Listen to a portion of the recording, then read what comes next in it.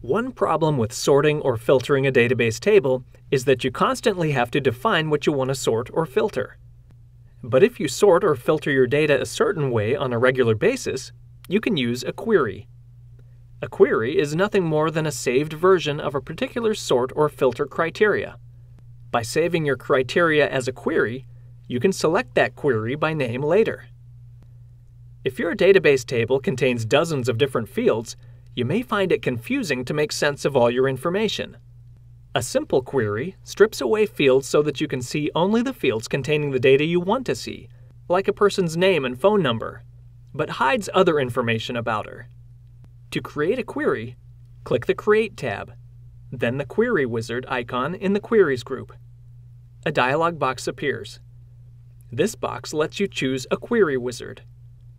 Click the simple Query Wizard and then OK.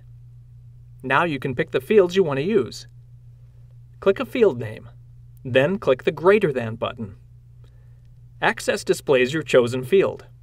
Repeat this process for every field you want to use in your query. Click Next. When the dialog box appears, it asks if you want to view the data in detail, which shows every record, or Summary, which shows numerical information like the total number of records found or the average value, and the minimum maximum value. Choose a view and click Next. When the dialog box appears, type in a description for your query. Then click Finish. Let's say you want to find out how many customers use multiple cards. You can create a query to find duplicate data, in this case, the customer. You start just as you did for the simple query, but this time click the Find Duplicates query wizard. Then proceed just as you did before. Click the table you want access to search and hit Next.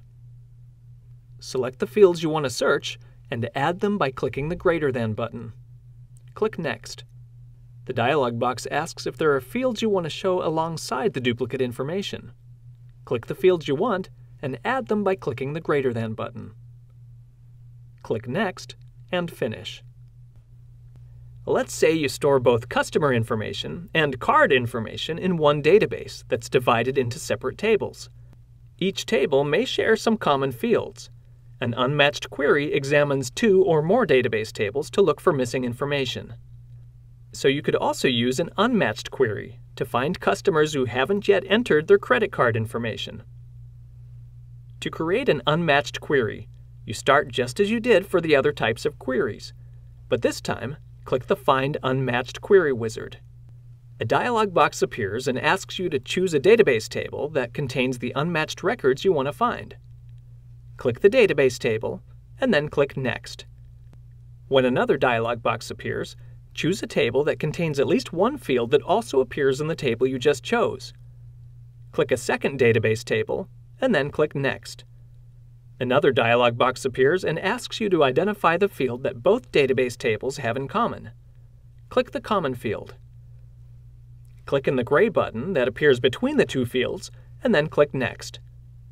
When another dialog box appears, click on the field from the second database table you selected.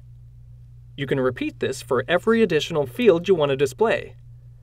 Name your query, then click Finish and save it. To view a query you've created, just double-click on the query name. You can also rename an existing query by right-clicking and hitting Rename. Now type a new name and press Enter. Each time you view a query, it displays a tab. If you want to get rid of a query, right-click on the name in the tab. Use the pull-down menu and choose Close.